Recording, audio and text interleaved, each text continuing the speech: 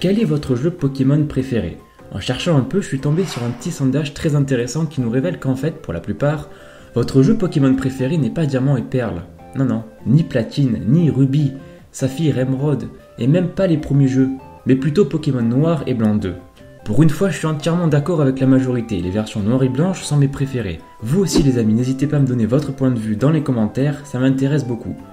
Aujourd'hui, on va parler d'un très possible remake, voire même d'une suite de Pokémon noir et blanc. Quelles seraient nos attentes et quelles sont nos prévisions? C'est parti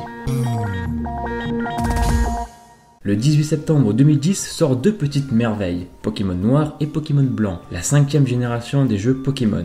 À cette époque, j'étais au collège et je me souviens avoir complètement lâché les jeux Pokémon depuis la déception qu'était Pokémon Perle. Cependant, après avoir visionné les bandes annonces et les pubs qui passaient en boucle à la télé, je me suis dit allez bon, pourquoi pas. Un jour, en rentrant du collège, je vois sur la table du salon Pokémon version blanche. Et ce jeu était juste génial. Franchement, l'histoire de ces jeux est réellement la plus développée de toutes. La région inspirée de New York est magnifique, les paysages sont différents, on a droit à des zones désertiques, les changements de saison font leur apparition et tous les Pokémon se trouvant à Unis sont nouveaux. Au total, pas moins de 155 nouveaux Pokémon pour ces jeux-là. Par la suite est arrivé Noir et Blanc 2 et pour une fois c'était une suite directe au précédent jeu, ce qui n'a qu'augmenté ma hype et m'a fait racheter une console seulement pour y jouer. Globalement les avis restent assez mitigés et pas mal de personnes n'y ont pas joué ou n'ont pas aimé pour diverses raisons que je n'explique pas. Mais les Pokéfans ont tous beau dire on veut un remake de Diamant et Perle, on veut ci, on veut ça. Non, les remakes arriveront certainement bientôt, mais personnellement je verrai pas l'intérêt de pouvoir rejouer à Perle ou Diamant aujourd'hui. Après évidemment chacun son avis, je comprends que certaines personnes préfèrent Sino à Unis, puisque beaucoup d'entre vous ont grandi avec Diamant et Perle.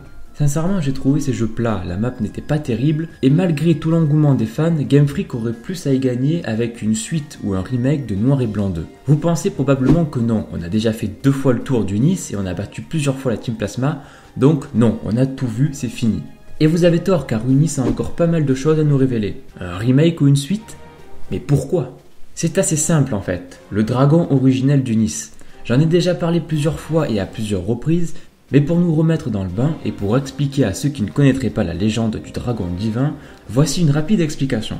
La légende raconte que deux frères auraient créé à l'aide d'un tout puissant dragon la région d'Unis. Cependant, les deux frères étaient différents. Régulièrement, des disputes éclataient et les deux frères devenaient furieux. Mais un jour, les deux rois entrèrent en guerre et la région fut dévastée. Le dragon qui avait aidé à construire cette région ne put prendre parti. Il se scinda alors en trois Pokémon que l'on connaît sous le nom de Zekrom, Kurem et enfin Reshiram. Kurem n'est en réalité qu'une coquille vide, il est la frontière entre Zekrom et Reshiram. Une nouvelle guerre bien plus dévastatrice vit le jour. Le tout-puissant Zekrom, allié du jeune roi, et Reshiram, le compagnon du plus âgé, devinrent incontrôlables.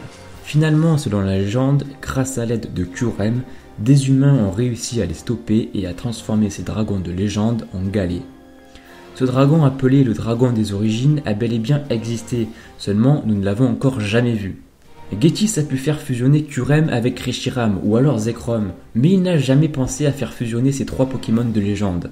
Avoir le dragon des origines pour un remake ou une suite finale à noir et blanc serait une excellente idée. Vous savez, on ne connaît pas réellement la puissance de ce dragon, mais qui sait, il s'agit peut-être du Pokémon le plus puissant. En finir avec Unis en ayant la possibilité de capturer le dragon ultime serait une suite plus que crédible et un réel argument pour acheter ces jeux. Affronter les dresseurs de toutes les régions. Vous rêvez de pouvoir affronter les dresseurs les plus importants au monde Pokémon Noir et Blanc 2 l'a fait. Grâce au Pokémon World Tournament, vous pouvez affronter tous les champions d'arène, des membres du Conseil 4 et même des maîtres Pokémon. Si un remake ou une suite arrive, nous y aurons droit à coup sûr. Mais cette fois-ci, il y aura les nouveaux personnages de la 6ème et 7ème génération qui seront ajoutés. Sincèrement, le Pokémon World Tournament est bien meilleur que l'arbre de combat que nous ne connaissons que trop bien. Et rien que pour ça, on aurait envie d'acheter le jeu.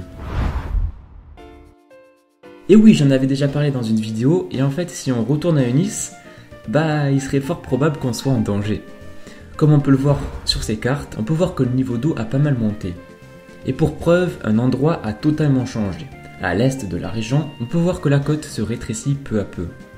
Et ces ruines totalement englouties, ne serait-ce pas là la preuve que le niveau d'eau augmente chaque année?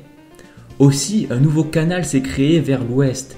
Serait-ce dû aux montagnes gelées? La région est-elle vouée à disparaître? Une suite à Noir et Blanc 2 avec le dragon des origines et de nouvelles intrigues avec Getis Ce serait génial, mais qui sait On n'en aura peut-être pas, mais au moins cette vidéo nous aura permis de rêver et de voir ce qu'il pourrait y avoir dans l'avenir. Et voilà, merci de m'avoir suivi, n'oubliez pas de me dire dans les commentaires quelles sont vos versions préférées et pourquoi. Si vous voulez d'autres vidéos dans ce genre, dites-le moi. Merci et à la prochaine.